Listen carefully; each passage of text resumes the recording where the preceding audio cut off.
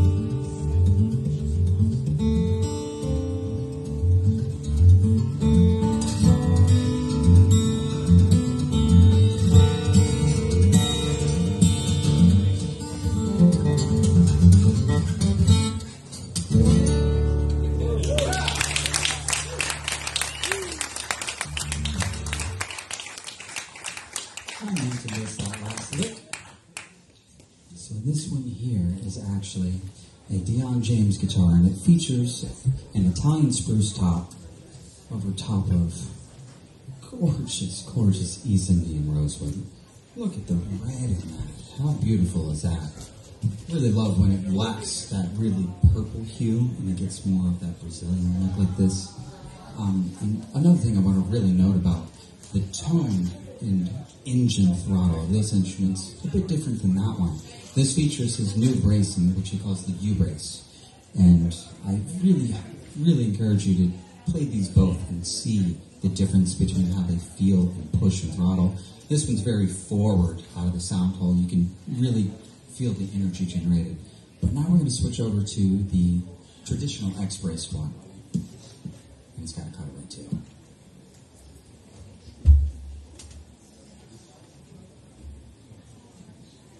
The floor has resonance. Did you hear that? Gotta love that.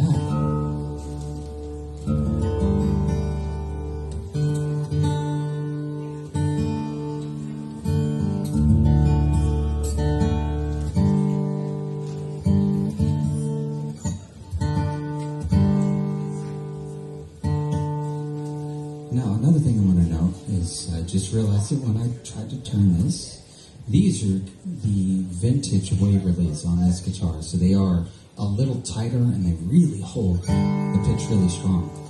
But these are the Schaller tuners from uh, Europe, Germany, Europe, Germany specifically.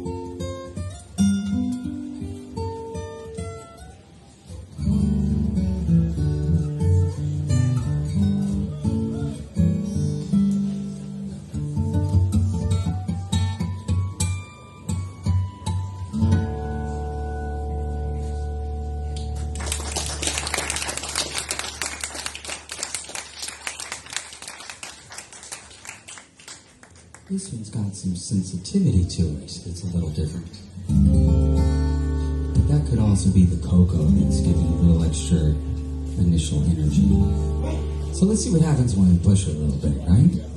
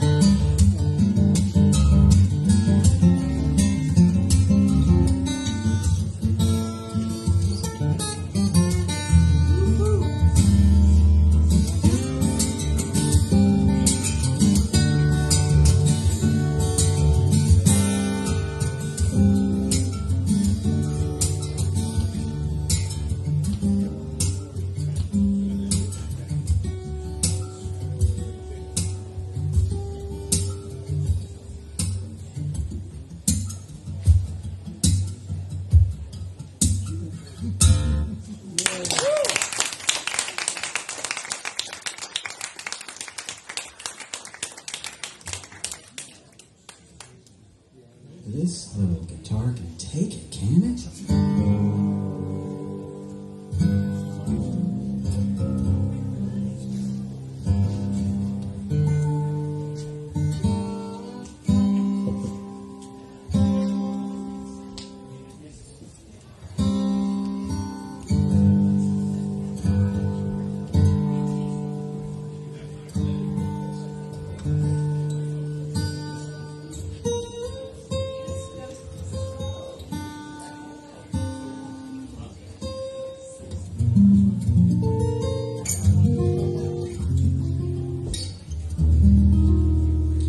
So, how many of you, show of hands, were able to come to the pre-concert on Thursday?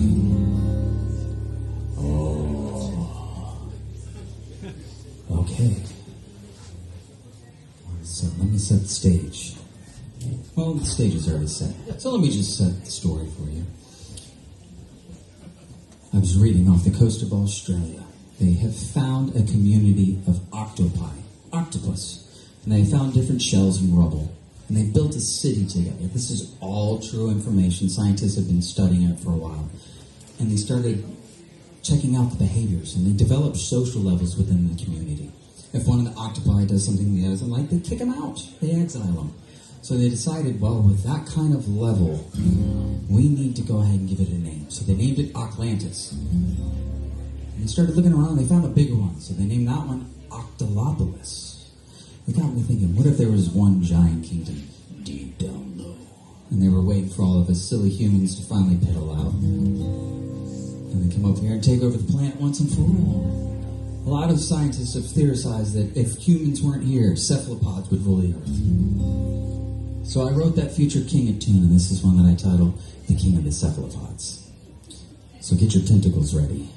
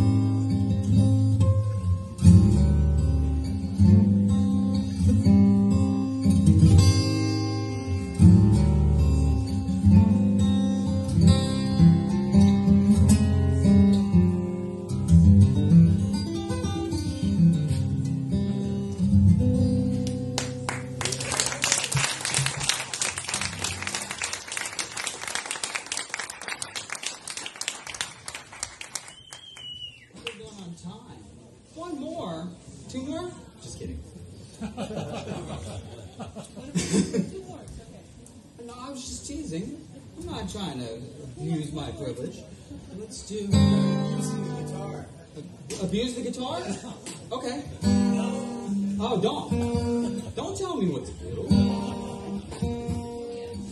Give me that idea.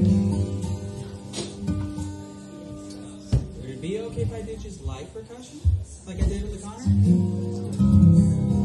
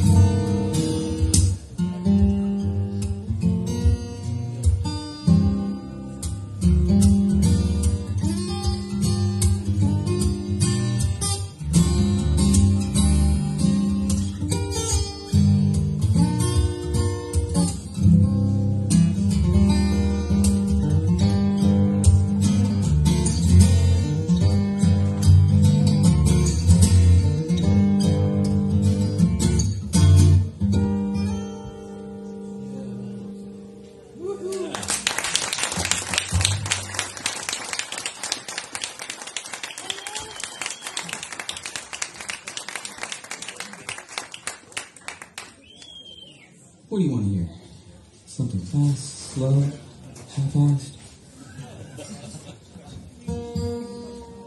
Let's fix that B flat first. Driving nuts. A good one. Just kidding. Uh, this is C, G, D, G, B flat, D. And really, the, what I find most useful is having it in tune.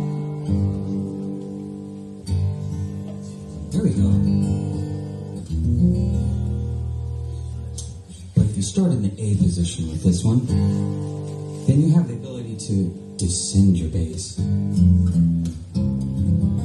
that when the four comes around, you- you're down here rather than with most guitar stuff, you go upward. Anyways, enough about theory, Johnny. We'll do another um, water themed one. COVID was weird. I had to do a lot of difference in how I wrote music. So I had to do a lot of scientific reading, and that was weird. I hate reading, but I loved what I found. Um, but along the way, I decided to stop some of the reading, just put the subtitles on, read those. Want some Netflix? Some documentaries would be good. There's this thing called Chasing Coral. And it documents a lot of the coral reef bleaching around the, world, and in particular, they focus on the Great Barrier Reef and the death of the Great Barrier Reef. In the last month before it quit trying to regenerate, did something very, very unique. For hundreds of miles, it was glowing like a giant psychedelic party, and it was trying to create its own UV protection to fight off the sun. And really, it was just kind of a brilliant way to go out, throwing all of your energy out at once. One big giant brilliance of a blowout. So I wrote a dedication to that, and this is what I call the Great Bleached Reef. Don't you fall.